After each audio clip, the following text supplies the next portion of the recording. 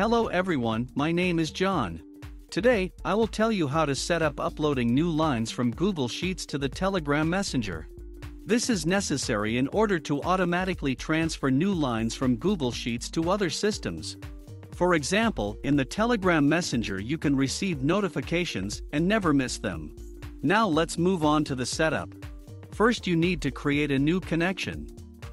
Next, you need to select the Google Sheets data source system.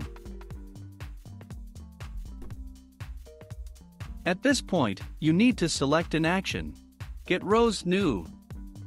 At this stage, you need to connect your Google Sheets account to the ApiX-Drive service. In this window we need to specify the username and password of the personal Google account.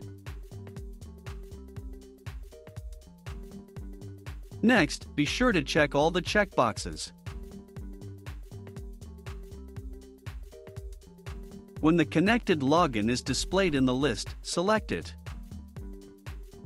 Then you need to specify the file and sheet from which you plan to receive new lines.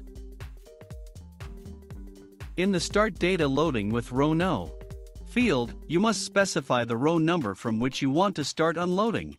For example, if you have 1000 rows in the table, and you do not want to transfer all these rows, you need to specify the number 999 in order to start downloading from the last one. In this case, I have two rows in the table, so I will put 2. At this stage, you can set up a data filter, in this case there is no need for this, so just click Continue. At this point, you see an example of the string you specified in the settings. If you are satisfied click Next. On this setting of the Google Sheets data source has been successfully completed, now you need to move on to setting up data reception. Select Telegram as the data receiving system.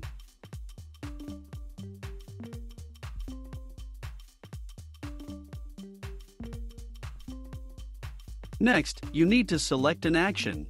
Send message. At this stage, you need to connect your Telegram account to the ApiX-Drive service. In this window you can give it a name or just click Save. Next you need to copy the ApiX-Drive bot name, find it in your Telegram and run.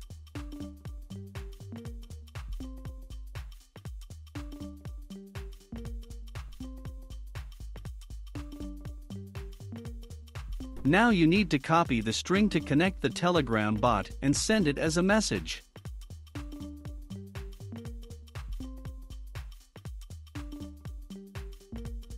When you received a response about a successful connection, we return to the ApiX-Drive service and continue the configuration.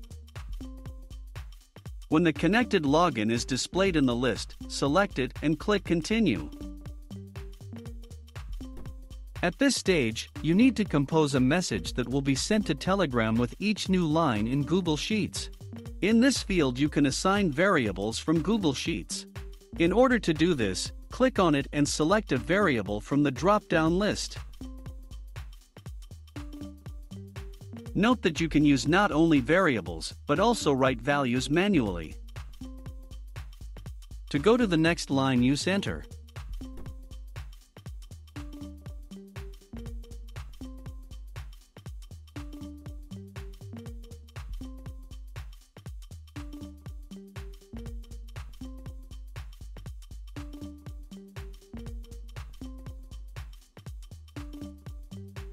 When all necessary variables are assigned, click Continue.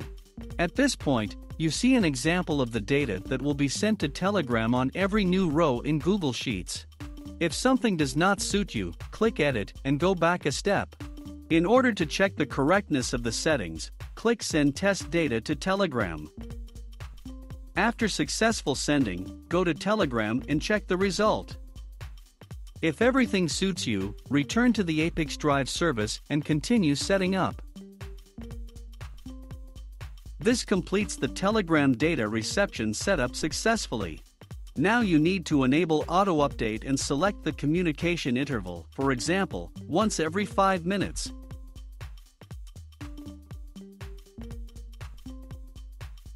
That's all, I wish you successful integration settings and good luck.